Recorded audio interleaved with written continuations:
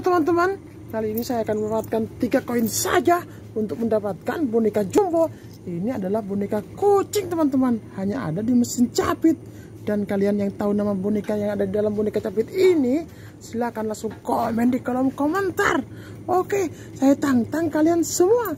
Oke teman-teman, biar tidak berlama-lama, saya akan memanfaatkan tiga koin ini untuk mendapatkan boneka jumbo ini. Wadidaw, ini, ini.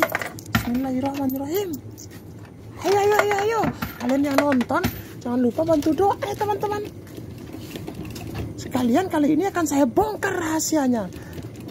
Bagi kalian yang suka main boneka capit, cara nyepitnya kita harus kuri-kuri dulu seperti ini teman-teman.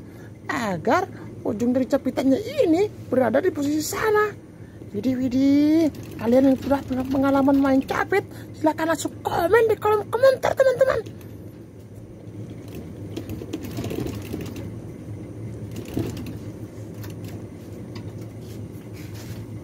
Jadi, kegiatan pertama tidak berhasil karena waktunya keburu habis nih.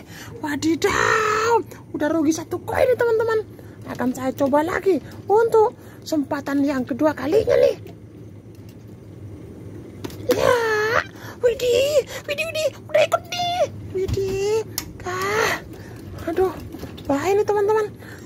Bisa jadi menghabiskan ratusan ribu koin nih.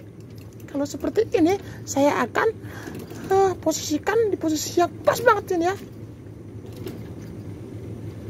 Kita coba lagi teman-teman. Kita coba lagi. Kita coba lagi. Wih gak berhasil teman-teman